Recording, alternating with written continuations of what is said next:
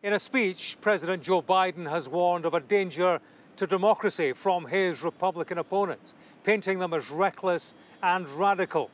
For their part, they have used an impeachment inquiry hearing to offer a characterization of him as a corrupt politician who abused the office of vice president to line his own pockets. The accusation is that when his son Hunter was traveling the world making business deals, Joe Biden participated actively in phone calls and made decisions to benefit his son and his family financially. They are big allegations.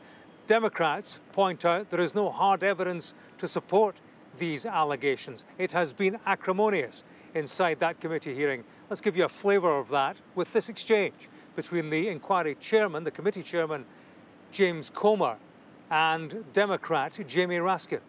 I'd like to ask for a recorded vote on that, Mr. Chairman. This is on the, the subpoena of the two key figures, Rudy Giuliani and Lev Parnas. Key figures for what?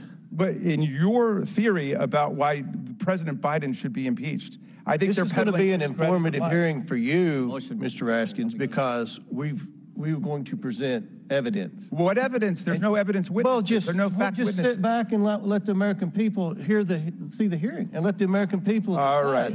Now look, right. you've gone over your time. We're going to have a we're There's- going there's a motion to to go table on by the the floor. rules here. Okay. Okay. Motion to And I'm glad you brought the box of bank statements. If we had a box of all the foreign money the Bidens took, it would have reached to the ceiling. Yeah. It's an impeachment inquiry. It's about high crimes and misdemeanors, but it's also about politics. Republicans are acutely aware the more they can throw the focus onto Joe Biden and suggestions of corruption, the more they create an equivalence, false or not, with the legal travails of their guy, Donald Trump. It's not the worst campaign strategy that they could deploy.